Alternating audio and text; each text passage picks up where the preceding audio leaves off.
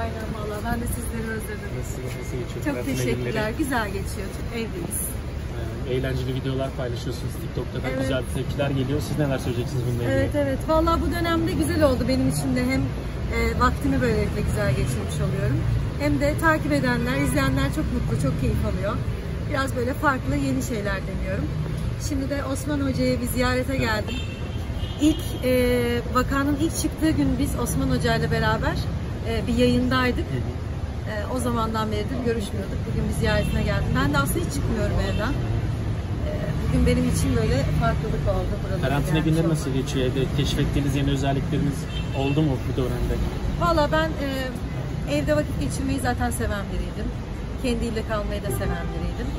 E, benim için yine çok güzel, öğretici, kendimi geliştirici, zaman zaman hiçbir şey yapmadığım, sadece durduğum, e, ailemle sohbet ettiğim telefonda, sevdiklerimle sohbet ettiğim e, bir süreç. Yani bu süreci olabildiğince en iyi şekilde değerlendirmeye çalıştım. Aynen. Ve hala da devam ediyor. Peki bayramda da yani e, herkes evinde kaldı. Böyle bir bayram düşünüyor muydunuz siz de? Hani bir hay- hayal Hiç ediyor aklımıza muydunuz? gelmezdi. Hiç aklımıza gelmezdi. Ama hepimiz için en iyisi ne olacaksa o olmalı. Ben böyle durumlarda e, adaptasyonu tercih ederim. Duruma uygun nasıl hareket etmemiz gerekiyorsa öyle hareket edelim. Sonrasında zaten kavuşacağız. Bu günler geçecek.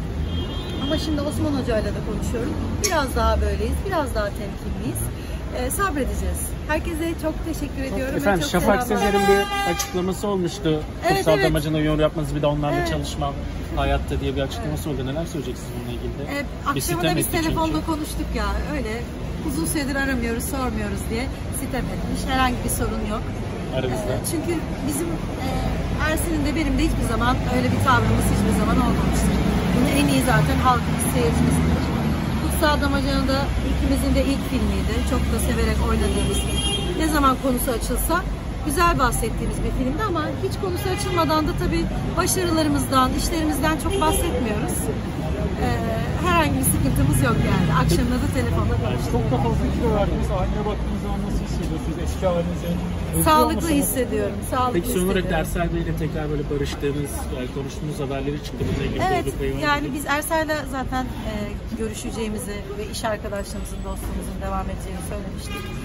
E, bu haberlerin çıkması çok normal. Aşk biter mi iş ve arkadaşlık devam ediyorsunuz? Aynen öyle. Çok teşekkür Peki, ediyorum. Yoğunlaştık. Hoşçakalın.